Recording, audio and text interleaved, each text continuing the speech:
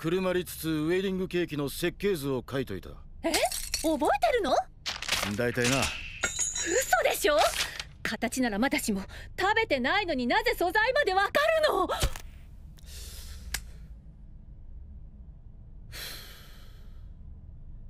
香りで。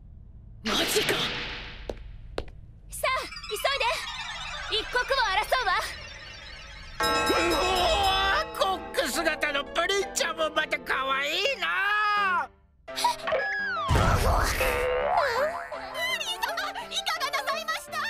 頑張りましょう旦那様。あ俺？コックさんたちの記憶から事件を抜いたの。つまり彼らの中では式は無事行われわ私たちはけ結婚してる。だけど不慮の天候によりウェディングケーキが台無しにママは怒り急遽ケーキを作り直すことになったこれが書き換えられたストーリー。なるほど。ケーキを作った記憶はまだ鮮明だからもう一度作る時には何かと役に立つわ。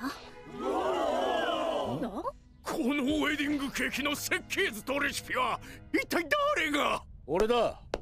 旦那様あんたがこれを？